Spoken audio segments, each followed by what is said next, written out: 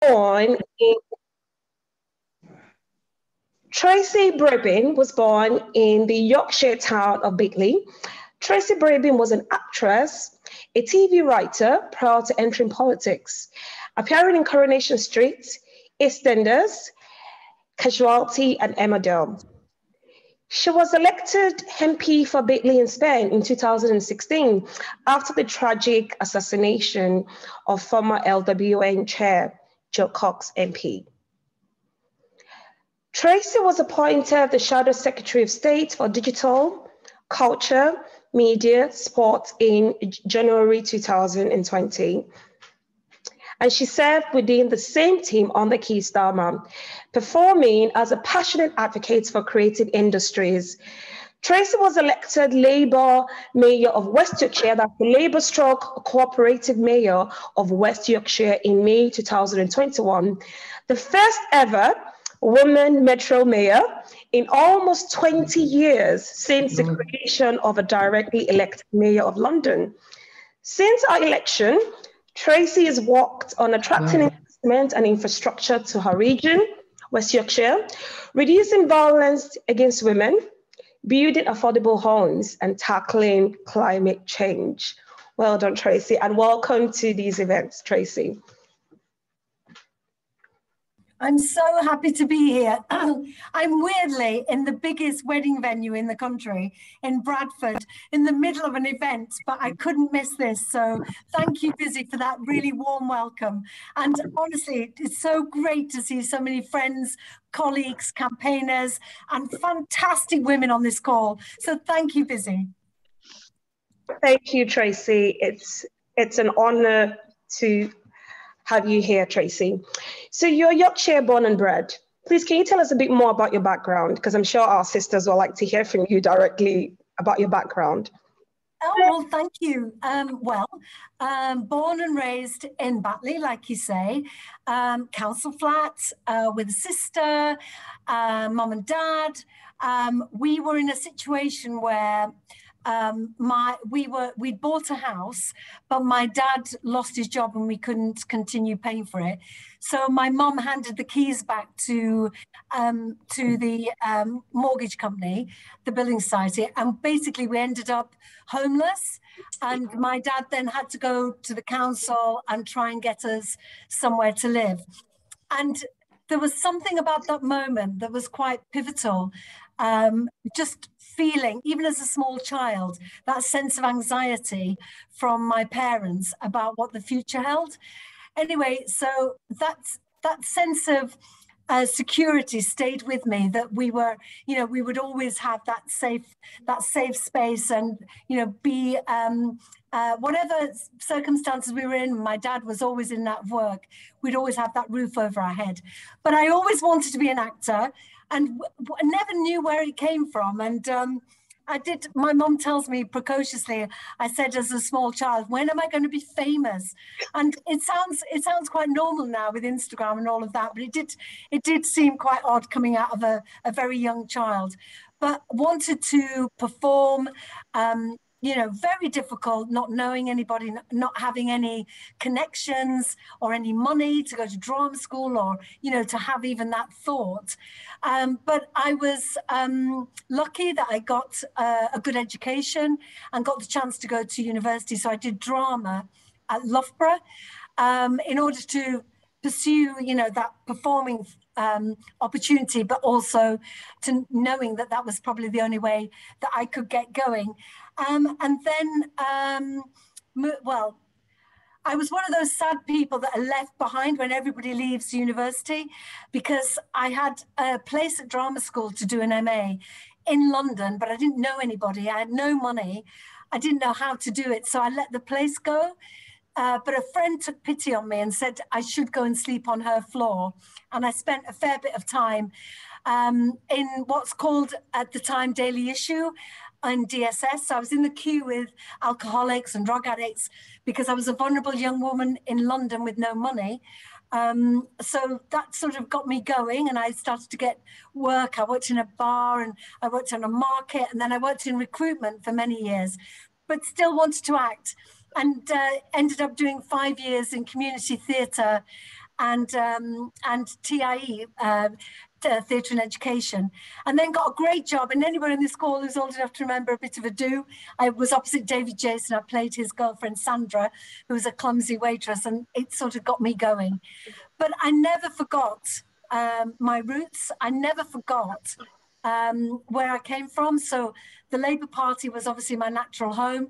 I campaigned uh, to support the miners when they were on strike. I um, spent time at Greenham Common.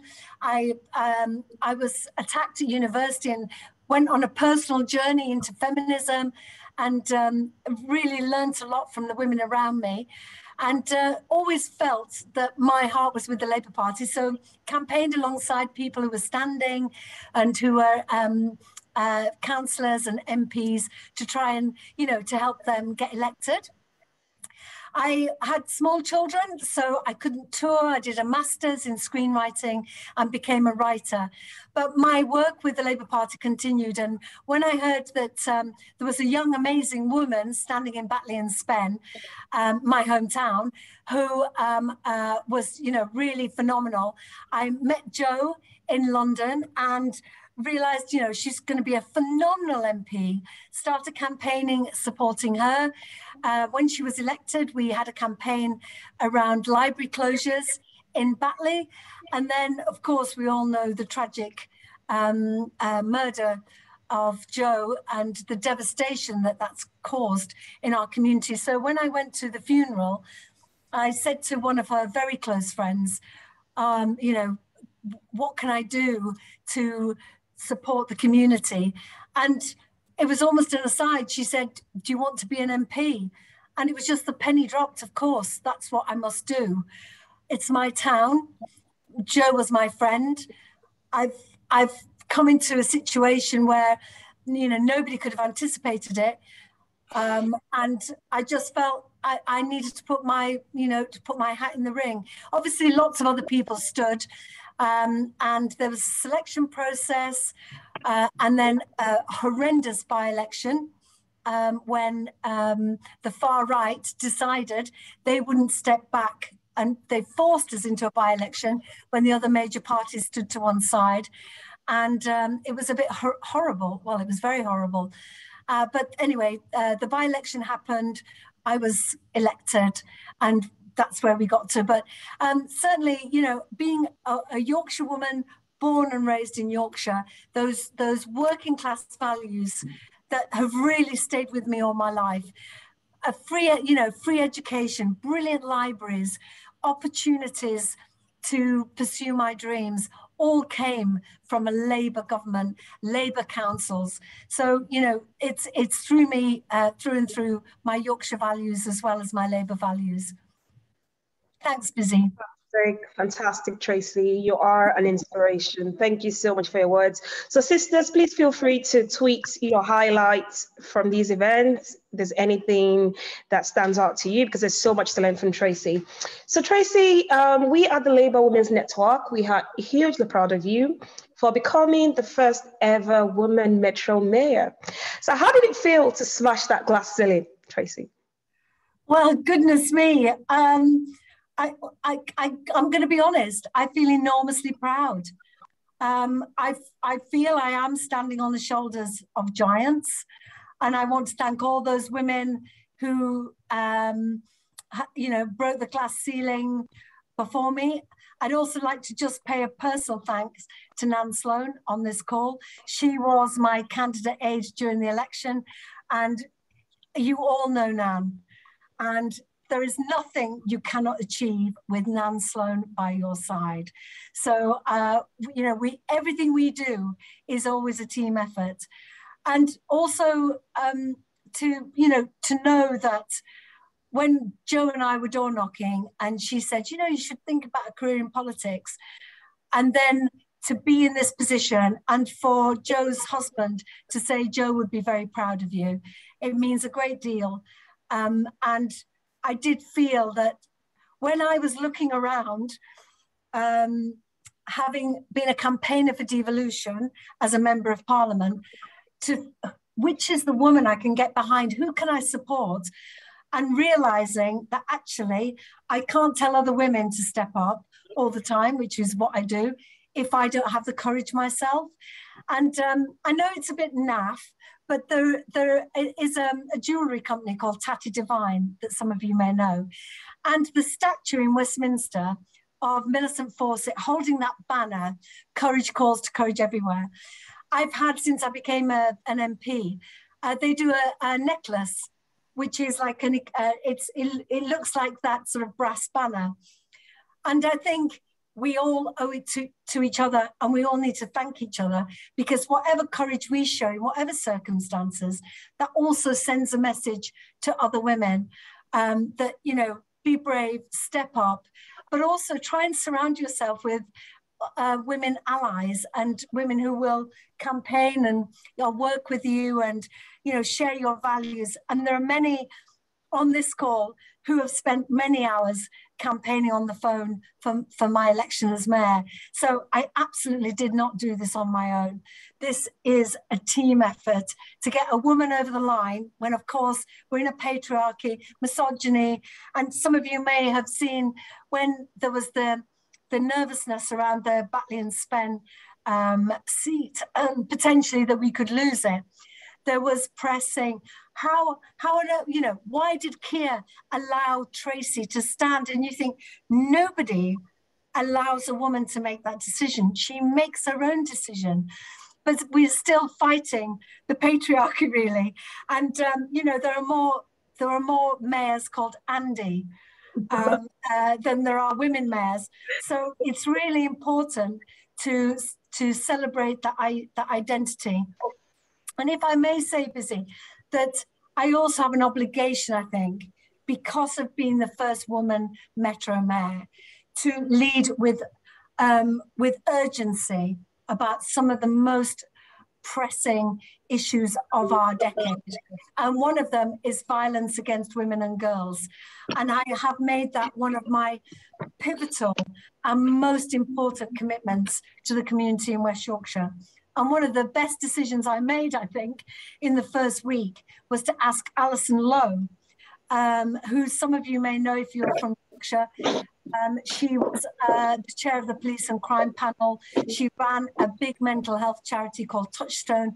And as a woman of colour, she also has her own lived experience, as well as being, like myself, a, a victim of sexual assault. And so can bring our own experience to the role. And as two women, side by side leading on this agenda, I'm hoping that we can really make a difference and uh, bring, bring that priority uh, to stop violence against women and girls um, and to try and make West Yorkshire one of the safest, safest places to be a woman or a girl as a priority. And using my, my um, the, the, the freshness, I suppose, of this role and to have a woman in it as a, um, a hook to hang exciting policies on. So um, it is in, incredibly um, humbling. And it, it is a bit sad though that my mum is still dreams of me going back to Coronation Street. And I think I think there's nothing in the world apart from being queen that she would be prouder of. Uh, but I keep saying to her, Mum, I have a, I have a budget of 38 million a year for 10 years. Oh yeah, but you were so good in Coronation Street. um, so I, I, do think there's nothing that I can do that will please my mum. Uh, but I, I am very proud and extraordinarily humbled, but also grateful to all the women around me that have helped elevate me. And I hope then I will be able to elevate others into senior positions as well. Thank you, Tracy. Like you rightly said, there are definitely still more Metro mayors called Andy. What's your relationship like with the other Metro mayors? And do you still feel like, do you still feel that sometimes you still have to justify your seat at the table? Well, well, I don't know whether it's been northern. I don't know whether it's been working class, but of course that um, you know that critical monkey is always on your shoulder. But what was what was helpful was that I had that same um, imposter syndrome becoming a member of parliament. I hadn't been in the building. I hadn't even been to a constituency Labour Party meeting before I became a, an MP. I felt all the time, I, there was so little I knew. And I was so afraid of being caught out and called out and somebody saying, what are you doing here? And I think there's something about being an actor that that fake it till you make it, that nobody knows how you're feeling inside. And I think if you just keep smiling and nodding um, and have good notes and a bit of research, then you can sort of get away with it. So I remember that feeling from being an MP. And so when it came around again, um, oh my goodness, I, I don't know how to be a mayor. Actually, I, I could just reflect and think, I knew absolutely nothing about how to be a member of parliament. And I hope that just having you know, achieved a great deal in five years, having spent four of those five years on the front bench, actually getting into the shadow cabinet, um, I, I proved to myself that actually you can start with very little knowledge, but if you learn, uh, work hard, and uh, listen to others, I think you can you can do a good job. So I was slightly anxious, but I also believe that um, I have a lot to give. And my lived experience, my parliamentary experience, also brought something new that potentially those male metro mayors could learn from me. There was a moment when we were talking about the M62 mayors and Andy and Steve and me. And I did think, oh, I don't want to look like we're in some sort of pop band um, where I'm in the middle of these two guys. So I think it's also about make, having my own identity, my own agenda, my own manifesto that has very much my voice um, to establish myself rather than being in a gang, but also the mayor of a region of 2.3 million people um, that is part of a group of other leaders in West Yorkshire. Because let's, let's not forget, it's not just about me. Um, I fit into um, the leaders group, which is five other leaders of the regions, um, uh, Calderdale, Kirklees, Leeds, Bradford, and Wakefield. So we all work as a team. So, uh, you know, I, I was a bit intimidated, but I think if you can reflect on an experience that was similar and then how you overcome those obstacles and try and keep that in your mind, and think in a few months' time, I'll know much more and I'll be better. And, you know, being honest at the beginning, I'm three days into the job or I'm two weeks into the job. And, you know, this is learning. I think it's good to be honest.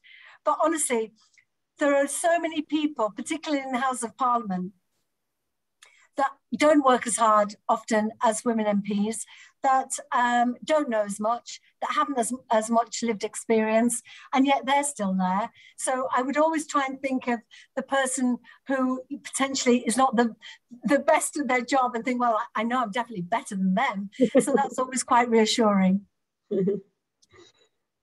Thank you, Tracy. You've shared really, really practical tips and there's so much to learn from you. Your campaign was a resounding success on a very mixed election day for Labour.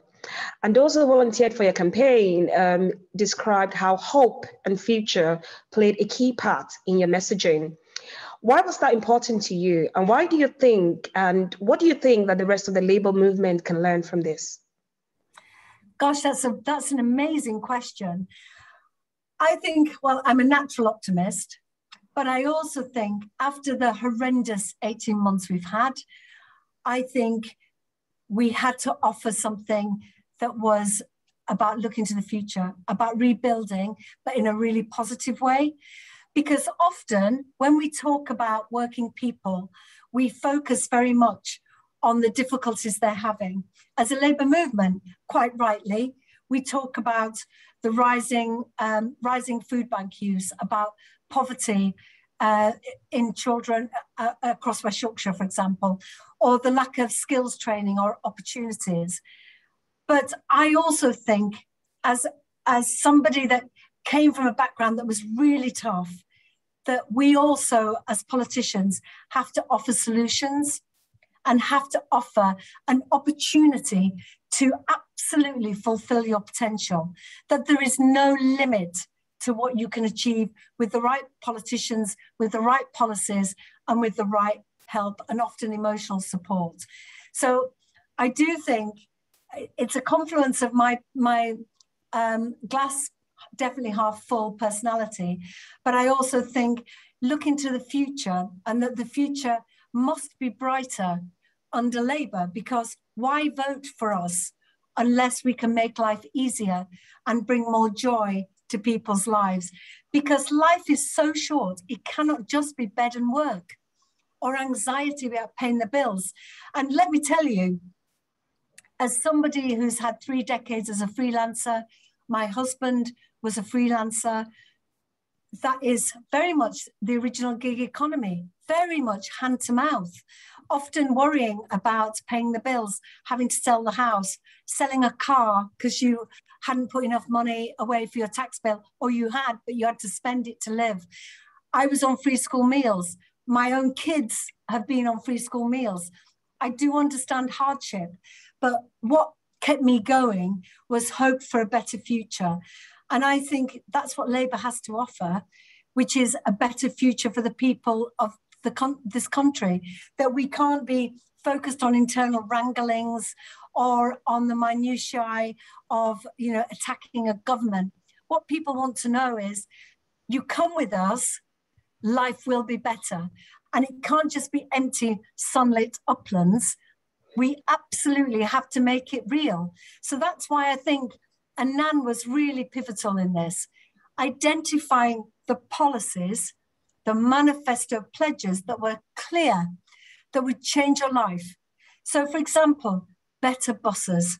Now, that doesn't sound like a big deal for people who may not use the buses, but for a lot of people, and if I could just quickly tell you an anecdote of a recent journey. I used the buses and it was pouring down, and there was a dad with his kid in a buggy. He looked really stressed. He was so stressed, he hadn't even put the, the hood down. The kid was soaking. He was waiting for a bus to Cottingley, which is one of the, you know, one of the poor, poor community in, in Leeds. The bus fell off the schedule. The next one was another hour. So he had to wait for another hour in the pouring rain. So he set off walking. My boss came another 20 minutes later and I passed him still walking. Now he would go home furious, wet, possibly late for supper, possibly late to pick up another child, furious. You know, where does that anger go? Where's that lack of control over your life? I think a simple thing, well, it's not simple, it's going to be difficult, but something as as clear as making bosses better could potentially make people's lives easier and bring a bit more joy or a bit more room for joy in people's lives. So I think those manifesto pledges, a thousand skilled jobs for young people, 5,000 affordable, sustainable homes, an inclusivity champion so that people know that their leader is listening to them, that they feel heard.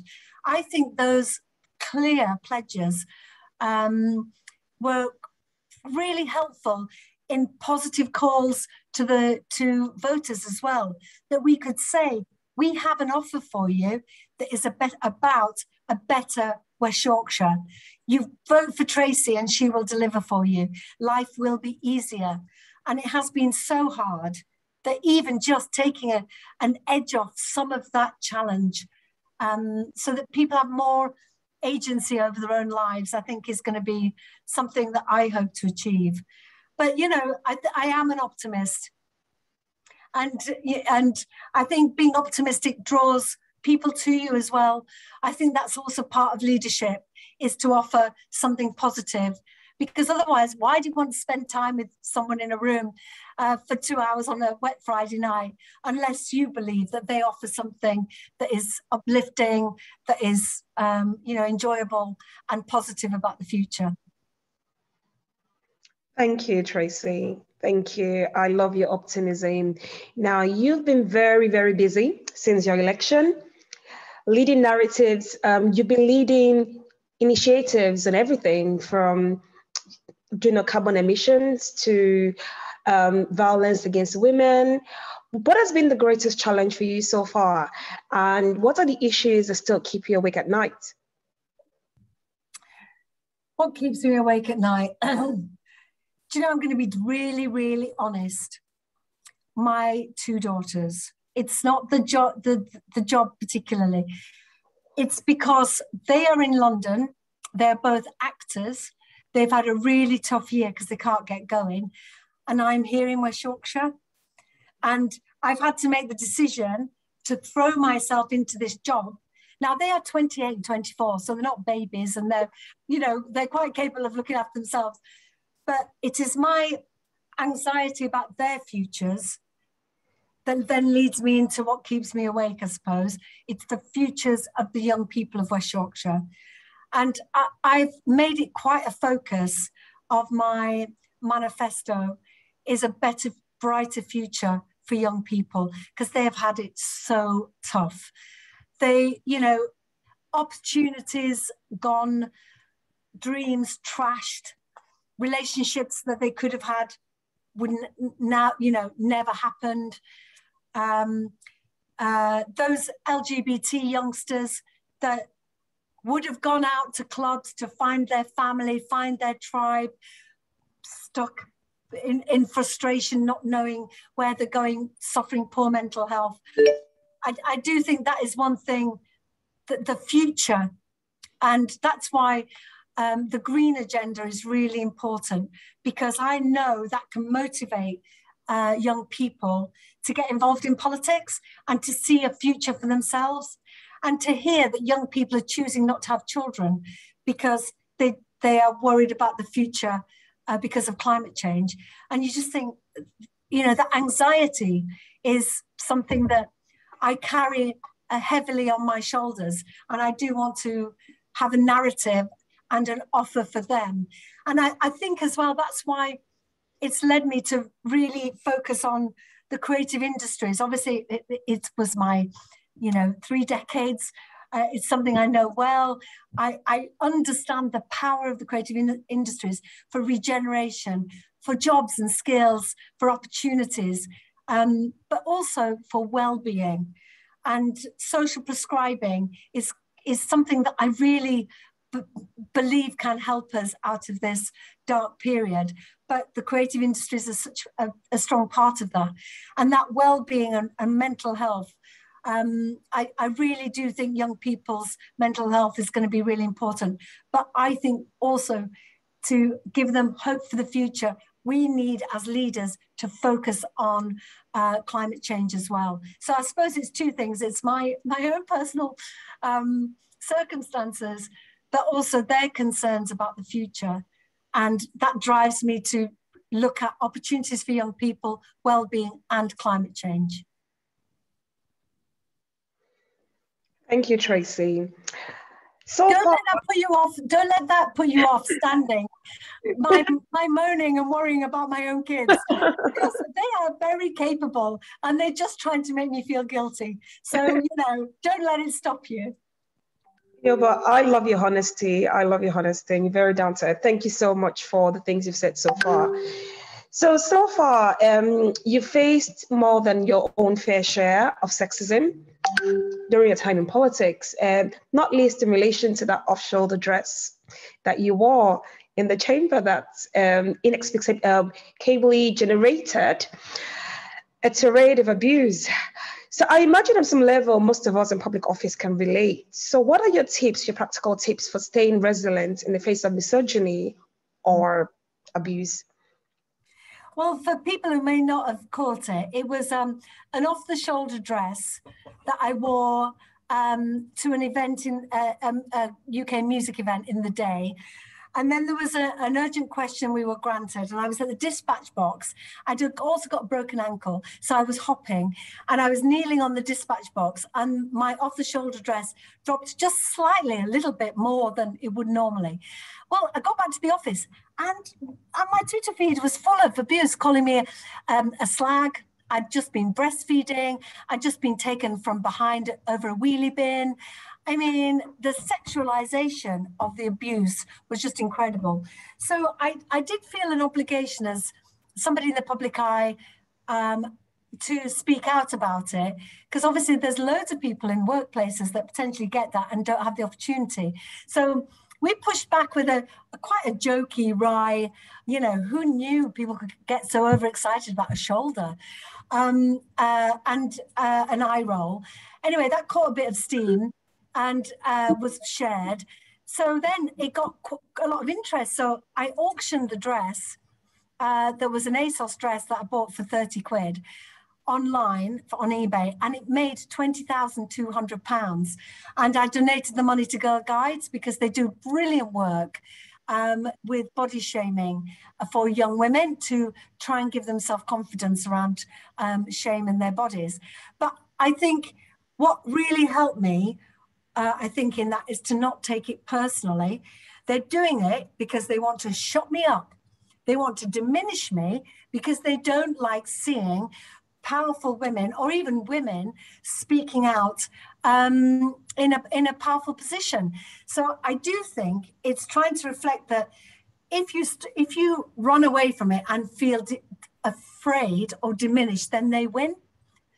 That's what they want. They want to make you feel um, anxious or um, terrified or whatever. So you can't let that happen. So I think to push back with humor sometimes is very uh, uplifting. And also, I try and I try and think that the people who are doing it, and we saw this when there was the abuse of black players, that the people who are doing it are little kids often. Um, and I always have this image of somebody that's not the most attractive person, sat in their mum's back bedroom in Y fronts, eating a pot noodle, and thinking, Are you afraid of that person? Do you really care about their opinion? And if the answer is no, then try not to um, let it get to you. Of course, you can't be an idiot. If it's a death threat and it's credible, then you need to go to the police and all of that. But if they're just trying to hyper, you know, to use sexual uh, language to diminish you, then just try and push back. Obviously, take a break from social media if it's upsetting you, but also I, I find if you've got allies on social media and they can then amplify and we can all support each other, I think that's also helpful. So I remember at one point I was getting a whole load of abuse and I just asked my CLP to post pictures of me with animals and dogs and positive stories to just push the abuse further down the timeline so that when you get to my page, you just don't see it. And that's the thing. They want to be seen and they want to make you afraid or feel shame. And it, it is hard, I know, but try and develop that thick skin because if you if you allow them in, then they win. And of course, they can't win. Tracy, you've shared a lot of practical tips and really helpful pointers. So sisters, please don't forget to tweet um, your highlights, anything you've learned from Tracy so far. And don't forget to get your questions ready. So please don't forget uh, because um, I'll be taking questions very soon. so Tracy, um, you are a graduate of the LWN training program. Though that was a while ago. Our current training focuses on understanding your own personal experiences and how these can shape your political narrative. You were an actress, you are an actress, and a TV writer by trade. So, how has the art of storytelling helped you in politics so far?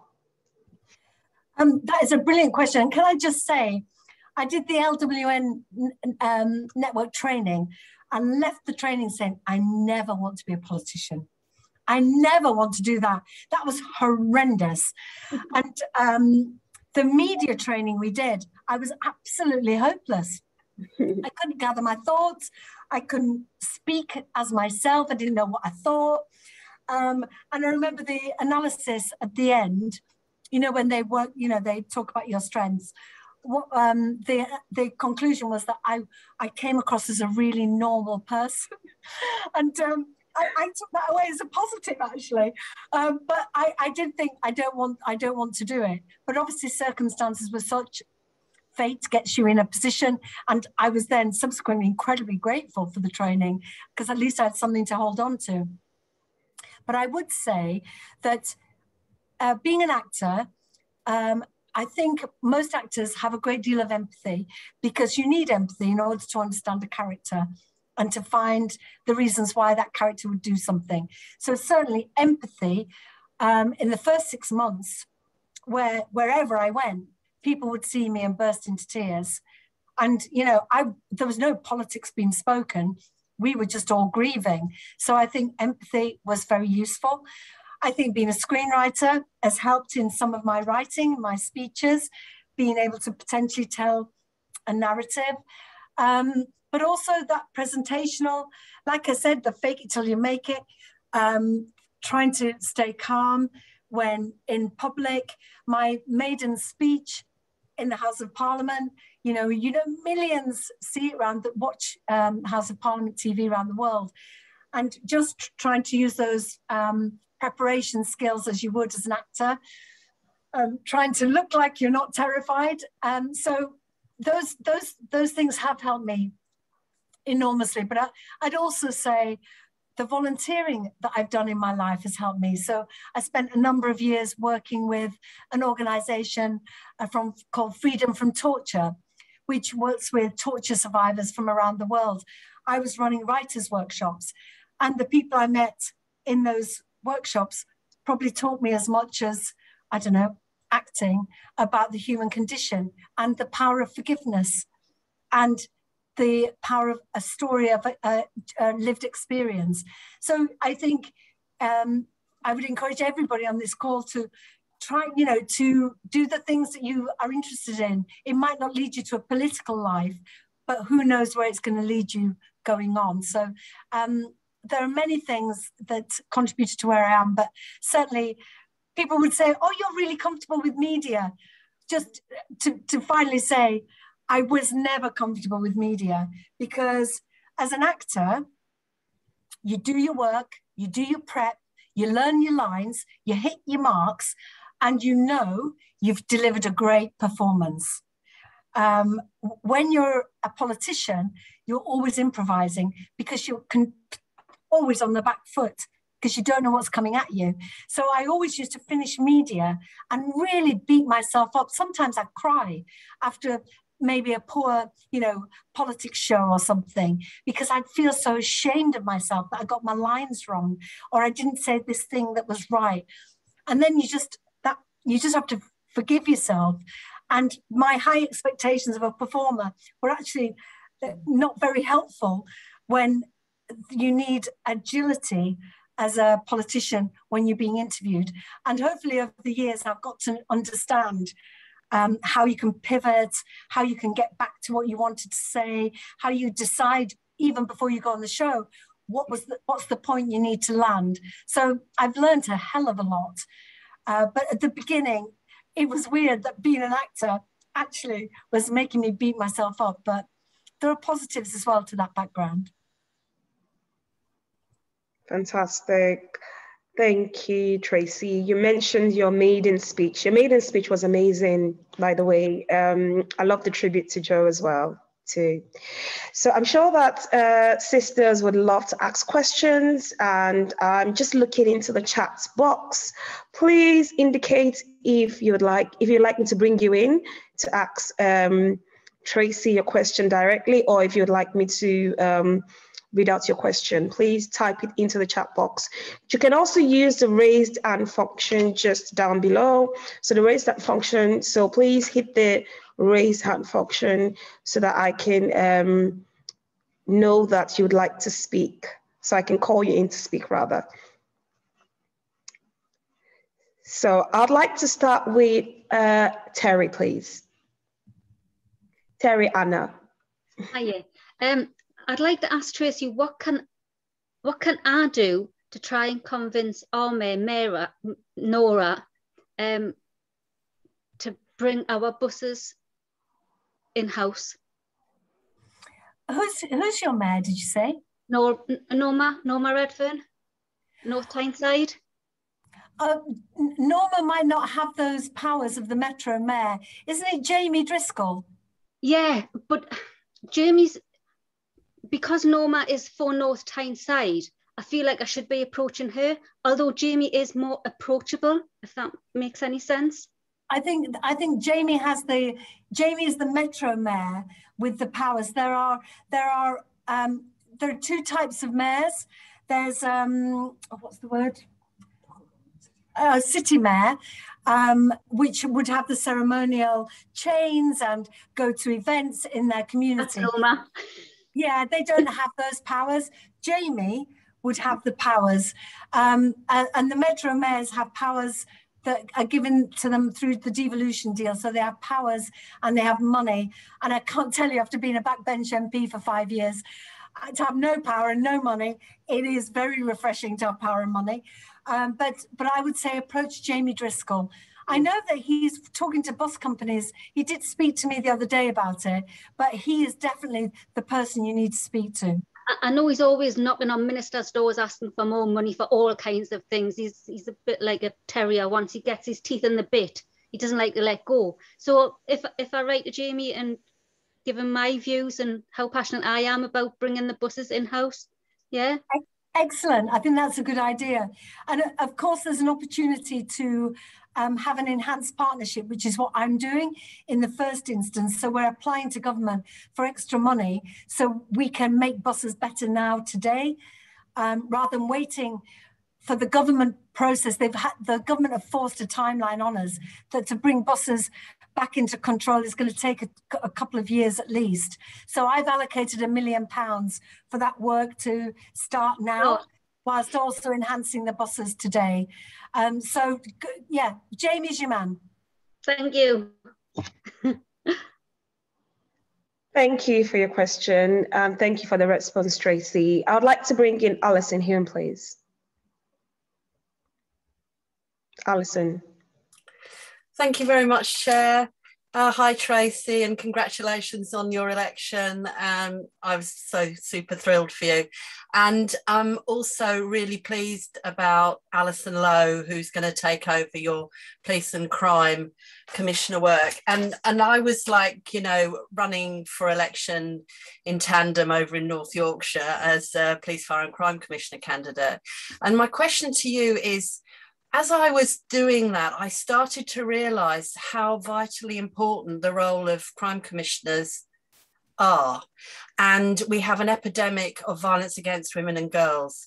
And my view is I don't know if you agree that Labour really needs to recalibrate its priorities in terms of how much effort we put into getting more women in as police, fire, and crime commissioners. I mean, it's fantastic we've got three LWN graduates in post, but we need more because I'm not sure people realise the huge purchase that commissioners have on outcomes for women and girls, right from what the police do through the criminal justice journey when they're you know providing advisors through to the victim support services it's a hugely important role and we need more women in the job so are you able to use your position now within the party to say come on we need to really look at these commissioner um, elections when they come up, and indeed any new mayoral elections, and put sort of more effort into them. I'd be interested in your view.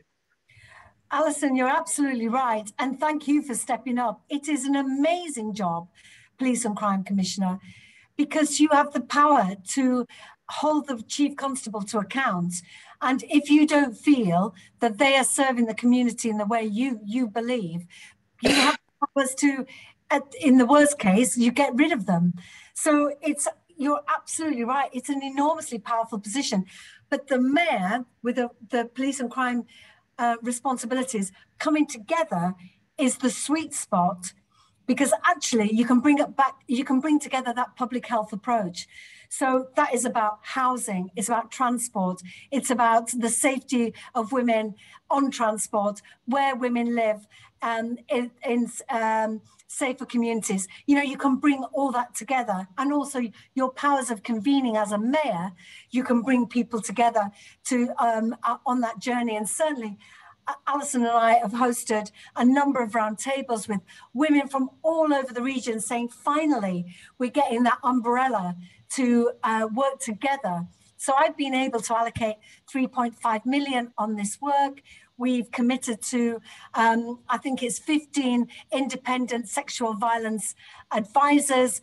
Alison and I walked the journey from the front door of the Sexual Assault Referral Centre through the process out the other side and able to share that experience as two women leaders and you know then feed back to the chief constable about what we feel we could do better but that's why um, leading on our police and crime plan consultation, saying to women in our community, this is your chance to really put uh, our experience at the forefront of the plan. And interestingly, having a meeting with Jess Phillips the other day, she said just the very fact that you're in post is helping women and girls. She said, you know, I am an MP for a region where my own mayor hasn't even reached out to me to, to discuss this, which is, seems crazy as she's on the front bench with this responsibility. But I would say your point is, is right that we should really amplify the opportunity for Labour PCCs around the country to work with Labour MPs, Labour councillors, and Labour mayors to really set the agenda. And it's an extra funding stream as well, let's not forget, to deliver for our communities and antisocial behaviour, um, uh, speeding cars, um, uh, you know, the safety on the streets and, and transport. We really have an opportunity to make a difference there. And if you go into politics for any reason at all, surely it is to make a difference to people's lives. And the PCC really does have the key to that. And, and do stand again, Alison. Keep going. Thank you, Tracy, for your response to that question. And I really appreciate the fact that uh, sisters um, have lots of questions for Tracy, but I will appreciate if your questions can be as brief as possible because our time is almost fast spent. Um, please, I'd like to bring on Ali. Ali. I think you're on mute. Do you want to unmute yourself or? Okay. Hi, Tracy. Congratulations yet again um, for everything. Um, one question I would ask about um, Leeds and everything. I'm sorry I was late to the meeting. Something else came up. Quite brief. Um, I read the report that Yorkshire and Humber will be receiving, I have done always, 20 plus percent more than any other area of immigrants. And everything you're talking about women and safety and whatever do you, with our council, have a plan to? Uh, I don't need to outline, but how do I work with you and the councillors to try and support this? You know, the influx because a lot of them will be very vulnerable women and children. I don't know if that makes sense. This is why I don't stand for Parliament. I hate public speaking. Bye bye. thank you, thank you, Ali. And um, honestly, it's tragic what we've seen across the world and particularly in, in Afghanistan. And if courage calls to courage everywhere, the, those women walking the streets ca- together, campaigning for uh, freedom to be themselves, with the Taliban watching them, absolutely phenomenal. But we know that we're going to get a greater influx of um, uh, Afghan refugees. There's no doubt about it. Now, we know in the north, we have often taken a greater percentage of those refugees that come into the country in these crises.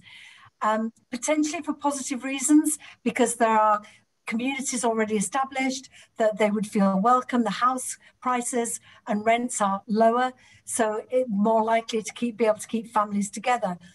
So what we're saying is we have always been welcoming. We will always open our arms to those in crisis from across the world. But government needs to step up and help us and give us the resources to, to give those families the best possible start. And we've experienced with um, Syrian families. Um, and certainly, if you have um, the courage to launch yourself and your children on a dinghy across the sea, what you're leaving behind must be worse than that. So we always have to bear in mind that the trauma that they are, they must arrive with.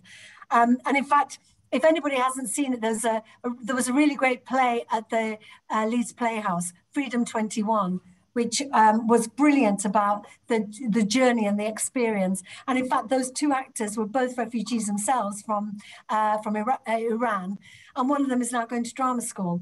So, you know, these are these are people who will contribute to our to our lives. And let's not forget, um, our region had um, immigration from uh, from uh, Ireland. The, uh, the, Catholics, came, Irish Catholics, came over to work in textiles. Then there's South Asian uh, uh, and you know Windrush, etc., etc. We are richer because of immigration, but you cannot allow it to fail by underfunding us and not giving us the resources, not just for today, but for programs of support that go on, not just ESOL today, but support for youngsters getting into school, etc., etc. So, Ali, if you want to reach out to my office, I can, of course, put you in touch with people.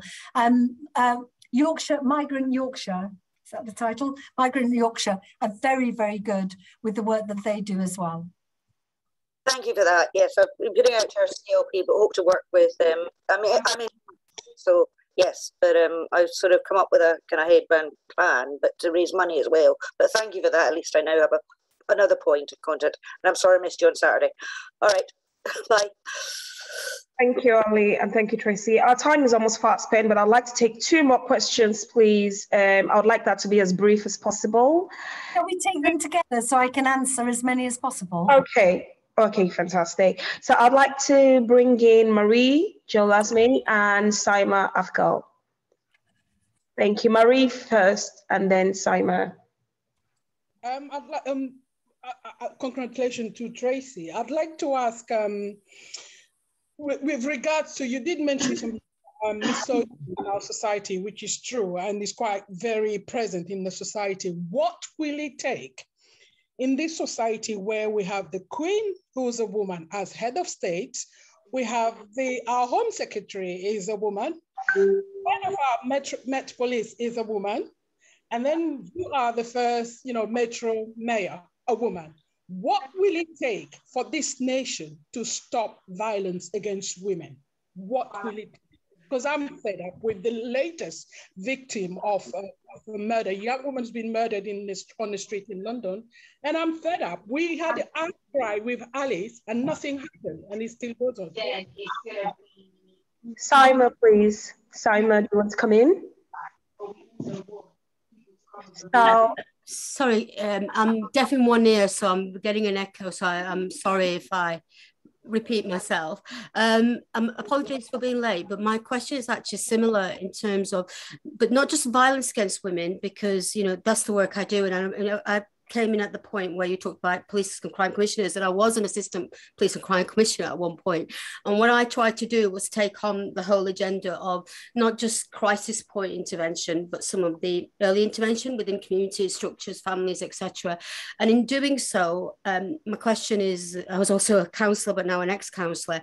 Uh, the reason for that is I was trying to tackle misogyny from within our own structures, and in doing so, I have been targeted and removed. So all these things that we're talking about don't happen in silos. So violence doesn't happen in silos. So how do women like me who don't fit, who don't typically fit the Muslim stereotype, who support LGBT communities, refugee communities, men and women, how do we get a platform? Yet we're intelligent, we articulate, we comply with the law, but we are targeted. So I'm so sorry to hear that. Um, and the very fact you're on this call proves you've got the courage to speak up and you know you're being heard and you are a leader because you're here. Um, both questions around violence against women and girls. I can imagine probably one in three of the women on this call have had some sort of sexual assault violence um, inappropriate behavior stalking all of those things. We won't end it overnight but what is really important for me is I've come into this role and there is a fair bit of money and structures and work in place to support the victim, those oh. safety nets, those you know those potential refugees, etc. There are so many organisations that do brilliant work as well to protect the victim. Uh, what I want to do is I want to understand why men continue to harm women, why men want to continue to hurt and diminish women. And it isn't just women, of course, because the, the majority of violence against women and girls and men and boys is perpetrated by men. So, what I want to do, and this is what I've tasked Alison with, and in our police and crime plan is to get further upstream.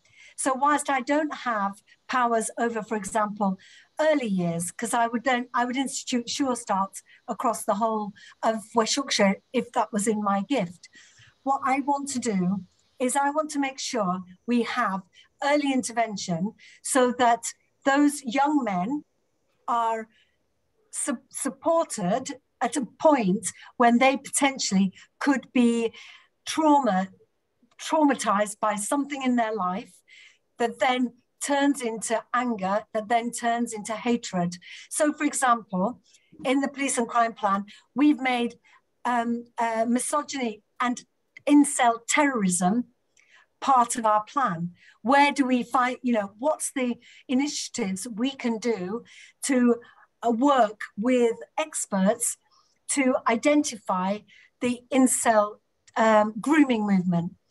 Where, where, where is the stuff we can do upstream that um, uh, empowers good men to step up and be good and be by, proper bystanders to support women. I'm supporting um, what's called a Pol Ed program that's going into schools to talk in uh, when children are very young about consent, about respect, about what relationships, love, and affection means, but also to talk to young women that what good looks like and what a good relationship looks like. Because let's not forget, there are a fair number of young women that don't know and don't have any examples of a good, healthy relationship. So, what I want to do is I want to stop the violence, not necessarily just scoop up after the violence has happened. And that's why I'm championing um, uh, uh, campaigns on the buses about violence, uh, zero tolerance for sexual violence. And we've seen on the trains in West Yorkshire the same campaigns because I think the time has come to say zero tolerance of the, this violence um, and sexual a predatory nature against women. But we, you know, this is a, a problem that has been with us for time immemorial. But I know it's often filed in the too hard box. But if we can just make a tiny difference, if we just stop one or two women being raped, hurt, assaulted, whatever, well, that would have been a good day at the office. So we are trying to get upstream. And that's why I was saying it's, it's so exciting to have the PCC and the mayoral role, because those two can come together to have that public health approach, to get that early intervention, to, to ensure we tackle men's mental health. That means that they potentially are isolated and then can get dragged into um, you know bad thoughts and the wrong way of thinking um, and also you know anger management. So when people say he just lashed out or it was one punch, we also need to um, have that, you know, have that help uh, for, for men when they're reaching out uh, for help with them, their anger. So um, that was not the clearest of answers, but let me tell you, I am completely focused on this as a priority. And if you have any good practice on any great ideas, the time to offer them up is now because I want the I want your great ideas in the police and crime plan. The consultation is out there, and um, if I may ask LWN, if you wouldn't mind, if I share it as an email, maybe we could share it amongst the members. Thank you. Thank you, Tracy, and thank you for taking the time to respond to the questions from our sisters. I can see that a lot more sisters have questions for Tracy, uh, but unfortunately, due to time, we'll not be able to take all your questions. I apologize. Um, however, Tracy, we like to share any concluding remarks for our lady well, sisters. Well, I wanted to thank you for chairing so brilliantly. Thank you for all attending. And I just want to say, you are all leaders. You are all extraordinary women because you are stepping up and wanting to learn from others and wanting to share your own experience with honesty and candor and um, and emotion as well. So thank you for your brilliant questions. Thank you for the support you've shown me over the decades I've been um, uh, associated with Labour Women's Network. You have some phenomenal leaders in uh, your um, organisation as well. And thank you for being such a great supporter for me. And, you know, I'm your friend. We will work together. Anything I can ever help with, I always will. And positivity, I think, is the way to diminish um, that misogyny and that sisterhood and standing together uh, is a way that we can really push back against those that want to make us feel small. So thank you for everything.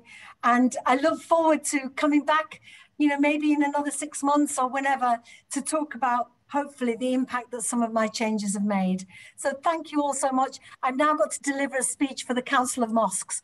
So um, uh, do excuse me, but thank you ever so much, everybody. It's been great to see you all. And thanks, Nan, you're a legend. Bye. Thank you, Tracy, and bye. Thank you so much. Bye. So, sisters, for those who are physically attending conference, we have an event coming up, um, Sisterly Saturday, Smashing Structural Sexism. And this is on Saturday, 25th September at 8 p.m. Um, at Holiday Inn, Brighton. No registration is needed. Uh, some of our guests include the Unison Gen Sec, uh, we have Antoinette Rumble, we have MPs um, Abena Oppong-Asare, Dame Diana Johnson, Tulip Siddiq, and Alex Davies-Jones. And also, sisters, you are invited to join the Labour Women's Network. Please don't forget to do that. We were founded over 30 years ago to secure women's equality in the Labour Party. We are the only official women's affiliate to Labour. Through our training programs, the political school, and the Jo Cox Women in Leadership program, we train women to change the culture in their local parties, to stand for public office and be ready to lead. Please follow us on social media at Labour Women's Net. And don't forget, sisters, to support and amplify each other's voices. Thank you all so much for joining me this evening and have a good night. Bye. bye bye. Bye, sisters. Bye, everyone. Bye. That was fantastic. Bye, Bye everyone. Everybody. Thanks, Bye. Bye. Bye. See you, conference. Right. Exit. Close.